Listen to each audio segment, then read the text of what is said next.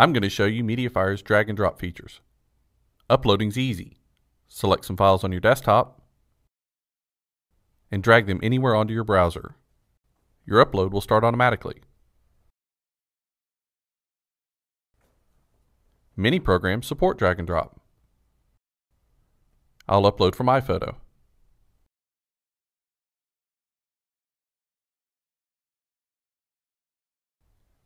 Moving items is just as easy. Make a selection and drag them onto the folder. Uploading is just that simple.